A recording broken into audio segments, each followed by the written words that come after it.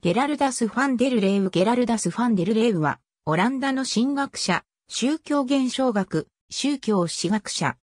ハーグの税関管理の子として生まれ、ギムナジウムを卒業後ライデン大学神学科に進んで、古代エジプト語を習得し、卒業後はベルリン大学でエジプト学を、ゲッティンゲン大学で宗教史学、神学を学び、古代エジプトについての論文で学位を得た。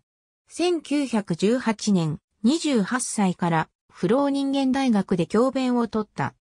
ファンデルレーウは哲学において提唱されていた現象学的手法を宗教学に応用して宗教現象学を確立し、その著作、宗教現象学入門、宗教現象学は宗教現象学における古典となっている。また宗教学のみならず様々な分野に精通し、1945年から1946年には、オランダの文部大臣を務めたこともあった。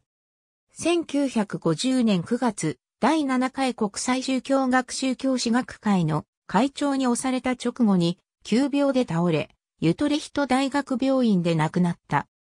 同じく宗教現象学者であるミルチャイリアーでは、ファンデルレーウの芸術と聖なるものに寄せた序文の中で、ファンデルレーウをレオナルド・ダ・ヴィンチやミケランジェロなどの百科全書的万能な人間像と対比させ、その業績が世間に知れ渡っていないのはその多面的な活動と著作の恐るべき多様性が原因であるとしている。ありがとうございます。